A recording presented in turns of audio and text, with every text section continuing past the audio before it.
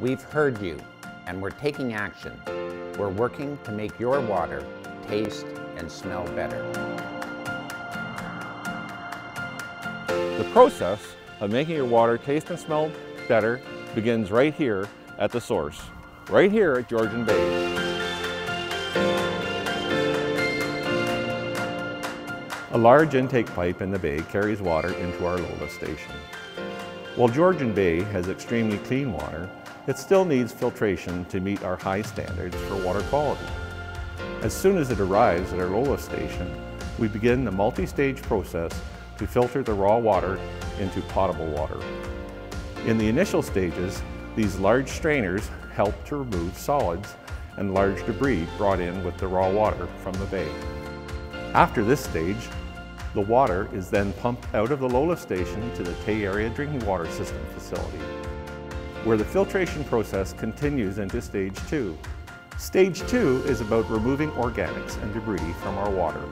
During this stage in the filtration process, we get rid of unwanted matter like sand and silt.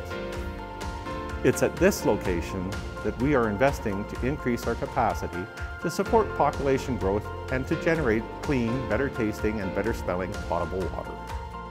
The hero of this stage is the addition of GAC, or granulated activated carbon. GAC filtration will help absorb and remove the organic molecules that contribute to poor tasting and smelling water. We're really excited about GAC because we know residents will notice a difference almost immediately. Barring supply chain delays due to COVID, we plan on completing the GAC filtration installation and setup by the end of the summer, when we know the water is warmer and taste and odor issues are heightened. The final stage before water leaves our treatment facility is treating it with UV light and chlorination. Now it's ready to be sent to your home. Think about all the steps that go into generating clean water when you turn on your tap. It's pretty amazing to think about the journey that each molecule of water takes before it ends up in your home. Remember, water is precious, so please do your part to help conserve water inside and outside your home. Fix leaking faucets or toilets. Turn off water while brushing your teeth. Observe outdoor watering hours 7 to 9 a.m. and 7 to 9 p.m. on odd and even calendar days.